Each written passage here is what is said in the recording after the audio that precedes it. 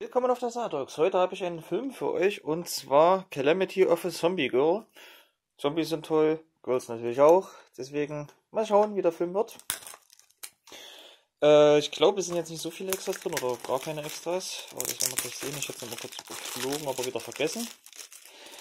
Ähm, der Film erscheint hierzulande bei KSM Anime. Soweit ich weiß, ich habe jetzt noch nicht auf Anime Pläne geguckt, zumindest im normalen Laden, gibt es nur diese normale Emery-Version.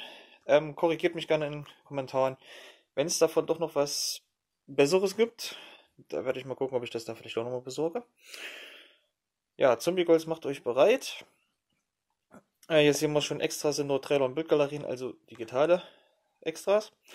Dann das Bildformat ist 16 zu 9 Full HD. Der Ton ist in beiden Sprachen Deutsch, äh, in 5.1, also Deutsch und Japanisch. Und er geht ca. 80 Minuten, also etwas weniger als anderthalb Stunden. Und deutsche Untertitel sind auch noch mit dabei. Und dann haben wir hier die Disk für euch schon mal.